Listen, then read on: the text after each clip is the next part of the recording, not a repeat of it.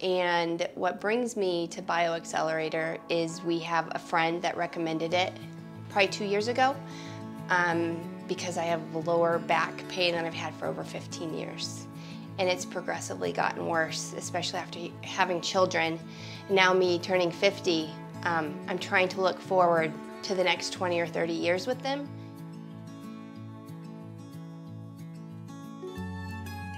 Of course, I was a little like, mm, I don't know about that, so I'm, I'm always doing my research.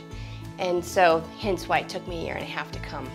You know, I don't like needles, um, and everyone was wonderful. I mean, it was, it was great. It was, um, I had the part where I was put under, so I didn't have to experience the injections the way that some others had to. But from day one, it's been wonderful. Everything, everything we've experienced here.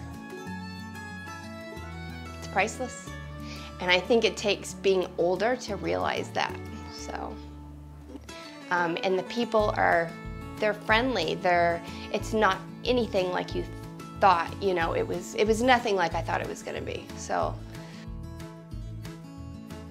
I feel like I've learned more medically being here than I have in the States on certain aspects of my care. My physical therapist here told me things that I had never been told before, and I've been to a lot of physical therapists over the 15 years, if you can imagine that. Um, I feel like the thought process is different. I feel like um, just the way that, that Medellin in the medical field here, they look at um, hospital care differently than in the States. They're more, pro yeah, right, and it's more proactive. It's not, they're not waiting for something to happen. They want to prevent it from happening kind of philosophy, so. So I got a little emotional because I was not expecting a birthday party of celebration from everybody, but I mean, I really, it's only been a week, but I feel like this is kind of a family away from family, you know, from my, it's a second family is what I'm trying to say.